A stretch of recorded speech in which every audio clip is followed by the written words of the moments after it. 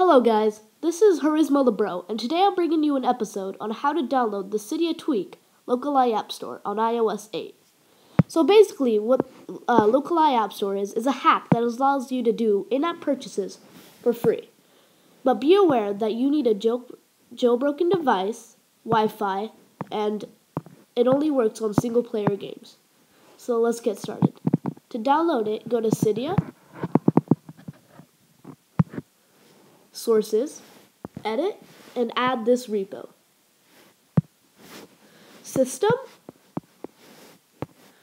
dot in dot dash app store dot com slash repo and slash again.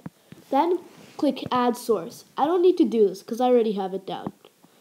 Then go to search and search in LocalIAPStore. Choose the one with the yellow background and the electric drill. Install it, restart your springboard.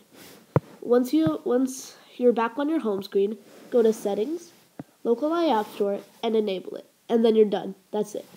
If you don't believe that it works, I'll test it on Buddyman Kick 2.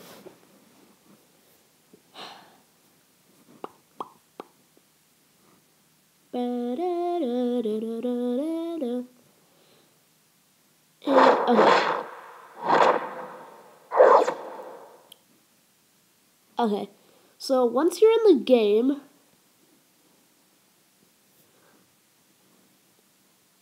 uh, once you're in the game, sorry guys, my iPad's really slow. Oh my god. Okay. Well, I'm ready to get started.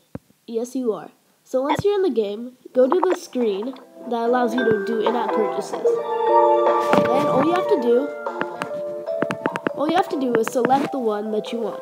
I'm gonna get a chest of gems. Once the screen that pops up, once the screen that wants you to type in your Apple ID password pops up, all you have to do is click cancel. And, and, voila. Thank you guys for watching. Uh, subscribe, like, uh, leave a comment, or whatever, and I'll try to make future videos. Thank you for watching. Bye.